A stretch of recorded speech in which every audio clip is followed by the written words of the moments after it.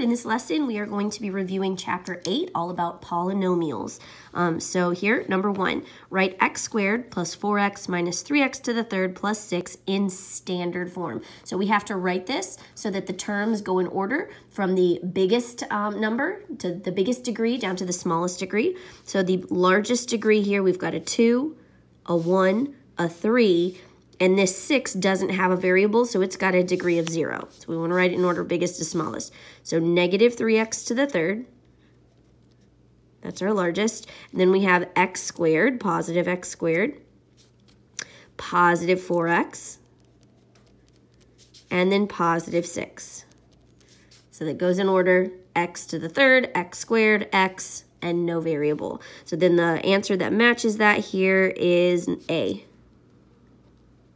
negative 3x to the third plus x squared plus 4x plus 6. Number two, find this trinomial plus this trinomial. So we're not multiplying here, we're adding. We're just going to combine all of our like terms, starting with the largest degree term. So 3c squared plus c squared gives me 4c squared, and I use those. Negative 8c plus negative 8c is really negative 8c minus 8c, which is negative 16c. So we use both of those. And then 5 plus negative 6 is really 5 minus 6, which is minus 1. So the answer that matches that here is H. 4c squared minus 16c uh, minus 1. And I didn't write my answers over here. A and then H off here to the side. Don't forget to fill those in. Number 3, Simplify 3b squared times 4b plus 7 minus 2b times b squared minus 5b minus 3 minus, okay, so for each of these, there's three different groupings here, three different terms. We have to distribute. So we're going to distribute the 3b squared. We're going to distribute this negative 2b. And we're going to distribute this negative 6. So I got three different things I'm going to do. I'm trying in colors. All right, so 3b squared times 4b. 3 times 4 is 12. And b squared times b, when you multiply bases, you add their exponents, so we get b to the third. Then I've got this plus sign here. And then distribute 3b squared times 7, which is 21b squared. Okay, then I've got my next set. I'm going to do it in a different color. I've got negative 2b times b squared. That's going to give me negative 2b to the third.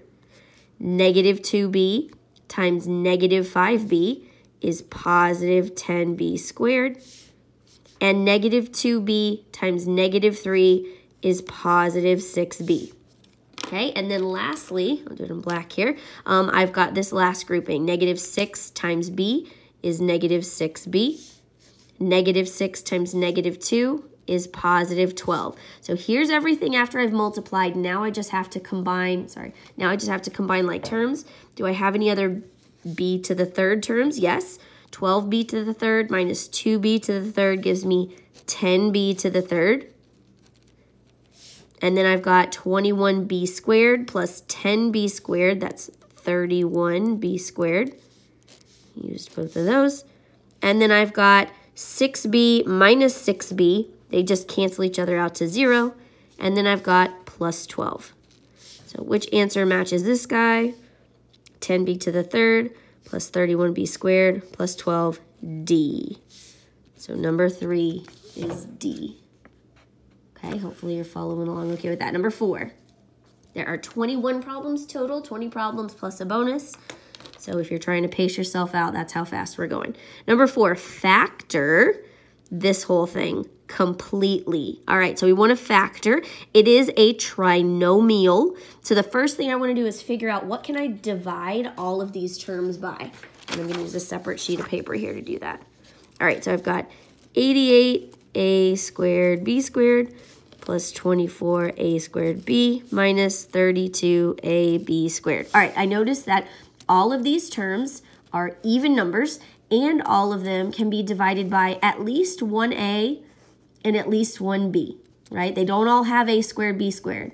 This one has a squared, but it only has a b. This one has a b squared, but it only has an a. So the most we can divide all of these by is ab.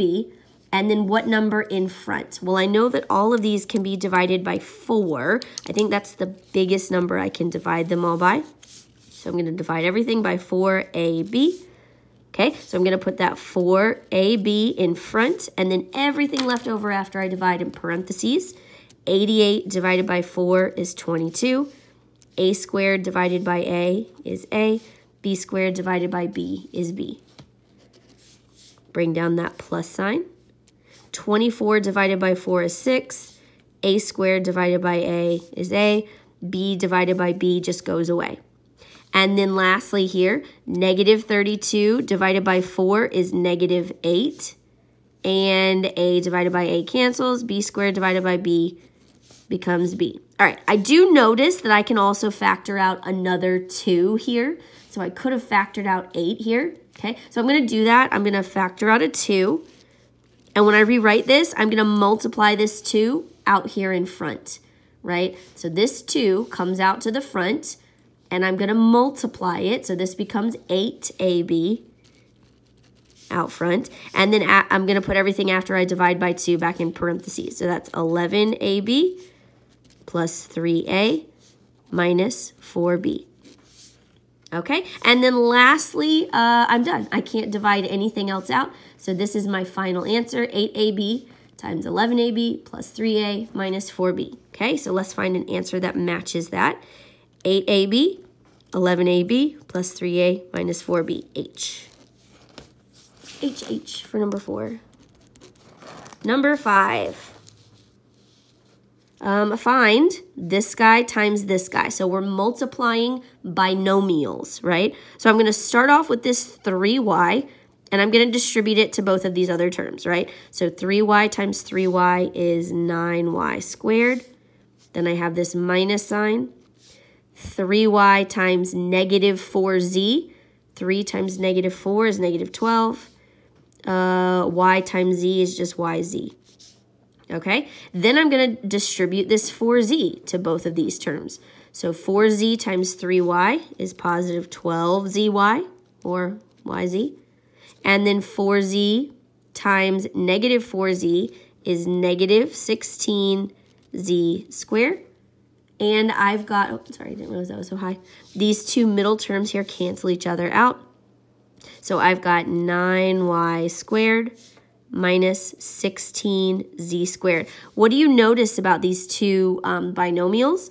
They look exactly the same, but one has a plus and one has a minus. So remember, that's our difference of squares. When we have two perfect squares and they're being subtracted, we know if we factor that, we get two binomials that look exactly the same. One has a plus, one has a minus. The first term in each binomial is the square root of this first term. So that'd be 3y, 3y and 3y. And the second term in each binomial is the square root of this second term. So that'd be 4z, 4z and 4z. All right, so we had to recognize that. It was a shortcut. 9y squared minus 16z squared a. Number 5 is a. Okay, number 6. Solve this guy right here equals 0. So we have two binomial terms that are multiplied together and equal to 0. So we're going to use the zero product property. So either this whole term has to be equal to 0 or this whole term has to be equal to 0 because it's got to be something times 0 to equal 0, right? So we just don't know which one's equal to 0. So if 3m minus 2 equals 0, I'm going to add 2 to both sides and then divide by 3. So I'd get m equals 2 divided by 3. If 9m plus 5 equals 0, I'm going to subtract 5 from both sides and then divide by 9. So I'd get m equals negative 5 divided by 9. So my two answers are 2 thirds or negative 5 over 9. Uh, 2 thirds or negative 5 over 9. Uh, add 2. Oh, here, this one. Sorry, they were just written in the office order. G. G. Sorry, I was saying it backwards. Negative 5 over 9 comma 2 thirds. Number 7, factor. So we're not solving anything here, we're factoring. There's no number in front, so this is the easier way to factor. We want to find all of the factors of 18 that add up to negative 11. so I'm going to say negative 2 and negative 9. Negative 2 times negative 9 is positive 18. Negative 2 plus negative 9 is negative 11. So I'm going to have x minus 2, x minus 9. Or you could have x minus 9 times x minus 2. Doesn't matter. So I've got a plus, a minus, a minus, a plus, a plus, a plus. I want minus, minus, a. x minus 2, x minus 9. That's my answer, a. And again, the order doesn't matter, so it could have been x minus 9 times x minus 2. Numbers 8, find this guy squared. Okay, so after our last lesson, right, we have um, perfect square, or not perfect square, we're squaring a binomial. So we're going to square the first term. Negative 2 times negative 2 is 4. r squared times r squared is r to the fourth. We're going to square the last term n squared. And in the middle, we've got a plus sign here, so we know we got a plus sign here. We're going to multiply 2 times the first term times the second term. So 2 times negative 2r squared is negative 4r squared times n. Negative 4r squared times n. And then we have a plus here. Okay, so our answer is going to be 4r to the fourth minus 4r squared n plus n squared. This guy, we want to find the one that matches that. So it's not this one because it has a negative 4 in front. We don't have a negative 4, not this one. 4r to the fourth minus 4r squared n plus n squared is h. H, H, H for number 8. Number 9, almost done with the first page. Solve y squared equals 5y minus 56. If we're going to solve this, and we've got these terms that look like they're part of a trinomial, we have to get them equal to zero. So we want to get rid of everything on one side of our equal sign to get zero on one side. I also do not want my first term to be negative. So normally I would just say, okay, minus y squared on both sides, and then I get a zero here, easy. But I don't want to get, I don't want to move this over here because it would become negative y squared. I'm going to move both of these terms over here. So I'm going to start by adding 56 to both sides. These go away. y squared plus 56 equals 15y. And then I'm going to get rid of my 15y on both sides. These go away, and now I've got 0. And y squared 56 negative 15y, this is going to go in the middle. Excuse me. y squared minus 15y plus 56. Now to solve this, I'm going to have to factor. So I want to find all the factors of positive 56 that add up to negative 15. Excuse me. That's going to be um, negative 8 and negative 7. So y minus 8 and y minus 7. Because negative 8 times negative 7 is positive 56. Negative 8 plus negative 7 is negative 15. Once I get to this step, I just have to set each of these equal to 0. y minus 8 equals 0, y minus 7 equals 0. So when I solve both of those, here I'd have to add 8, so I'd get y equals 8, and here I'd have to add 7, y equals 7. So my answer is 7 and 8, or 8 and 7. That would be A. Oops. Okay, and then we've got number 10 find this guy times this guy. So we're multiplying these two terms by all of these three terms. And I'm actually going to do that. Get paper here. I'm going to distribute, right? So first thing I'm going to do is multiply this first term, 3x, times all three terms in the trinomial. Boom, boom, boom. So 3x times 4x squared. Then I've got this minus sign minus 3x times 2x. Then I've got this last minus sign minus 3x times 7. Okay, so after I've done that first term times all three, now I want to do the second term. I'm going to multiply 2 times all three terms, right? So 2 times 4x squared. So I'm going to add that. That's positive, so I'm going to add it here. 2 times 4x squared Then I've got 2 times negative 2x, so I bring that minus sign over, minus 2 times 2x. And then I've got another minus sign, 2 times 7, minus 2 times 7. Can't see that.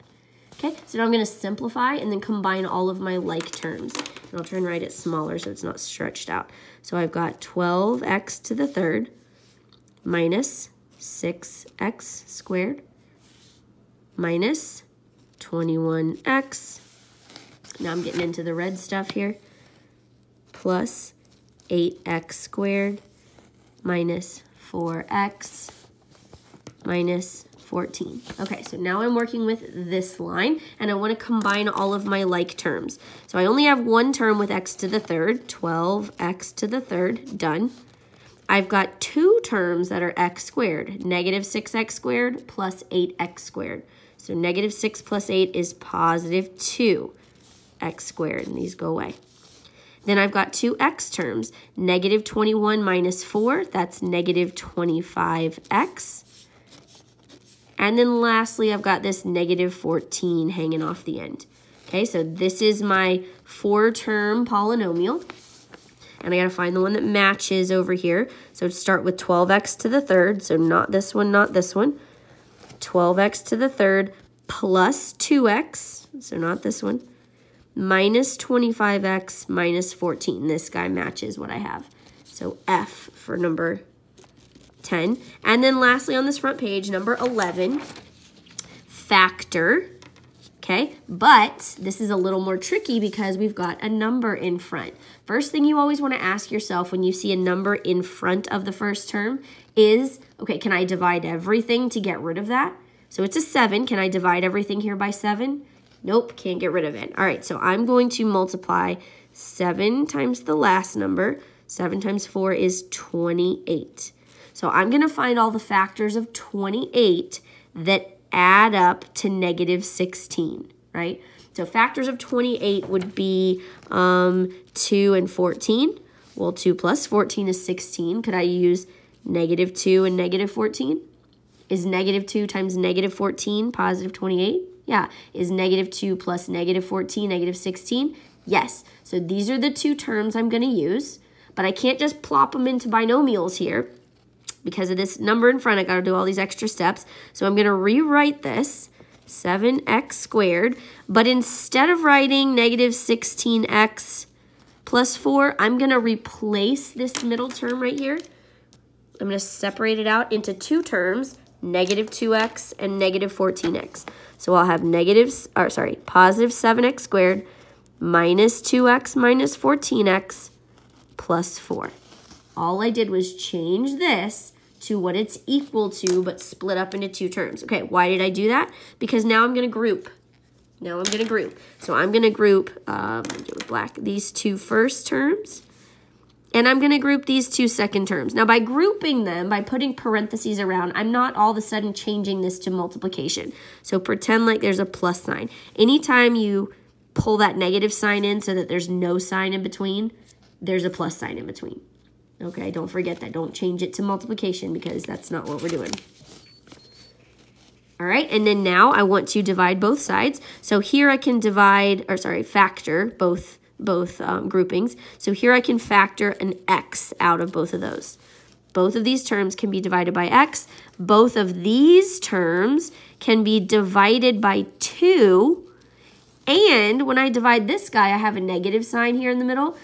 This guy over here has a plus sign and this guy's negative. So how can I change both of these signs so that the signs match this side? Divide by a negative number. Okay, so then I'm going to rewrite this. x goes out front, everything left over after I divide in parentheses. 7x squared divided by x is 7x. Bring down that minus sign. 2x divided by x is just 2. Then I bring this, this negative 2 out front and everything left over after I divide in parentheses. Negative 14x divided by negative 2 is 7x. 4 divided by negative 2 is negative 2. So now you notice that both of my parentheses, you can tell I drew on the back of this paper too, I'm reusing the same scratch paper. Both of my parentheses are the same, right? So I'm going to write that same parenthesis in front, 7x minus 2. And then I'm going to pull these two numbers, these leading coefficients together and write them in their own little parentheses, x minus 2. So I'm done. So I just factored. These are my two binomials that I got this trinomial out of to begin with. So 7x minus 2 times x minus 2. 7x minus 2. Oh, here. 7x minus 2, x minus 2. So they flip-flop the order, which is okay. When you multiply, it doesn't matter which order you multiply in. They wrote x minus 2 first and 7x minus 2 last. It's the same thing. This is the answer they give here, here, D. And you know also that has to work because none of the other problems match. These match, they're just in the wrong order, but that's okay. So that one's D. Okay, now we're gonna do page two. We're halfway. I'm trying to hurry so it's not super long.